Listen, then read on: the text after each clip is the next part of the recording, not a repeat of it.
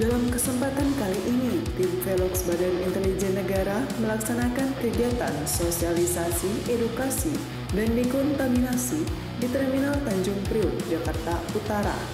Tim Velox Badan Intelijen Negara menyampaikan sosialisasi, edukasi terkait penerapan adaptasi kebiasaan baru dalam kehidupan sosial masyarakat sehari-hari kepada petugas dan pengguna bus serta dekontaminasi di area Terminal Tanjung Priok, Jakarta Utara.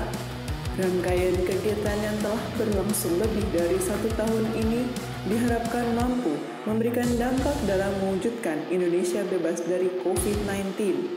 Program vaksinasi nasional yang dilaksanakan oleh pemerintah di berbagai lapisan masyarakat wajib diikuti dengan penerapan adaptasi kebiasaan baru dengan disiplin dan berkelanjutan Semoga dengan penerapan adaptasi kebiasaan baru ini, masyarakat bisa terus produktif namun tetap aman dari COVID-19. Bersama-sama kita bisa menghadapi COVID-19.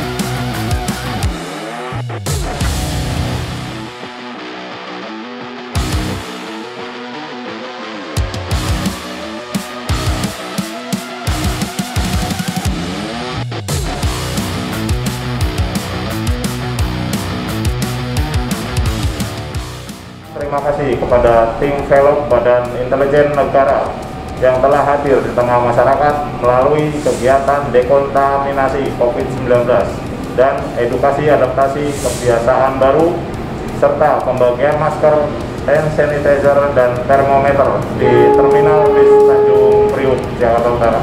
Untuk masyarakat Indonesia, mari kita terus berdisiplin dalam menerapkan protokol kesehatan baru atau adaptasi kebiasaan baru agar kita tetap produktif sekaligus aman dari COVID-19 dengan cara mengikuti protokol 5M. Selalu menggunakan masker dengan baik dan benar. Mencuci tangan menggunakan sabun. Jaga jarak minimal 2 meter. menghindari kerumunan dan membatasi mobilitas.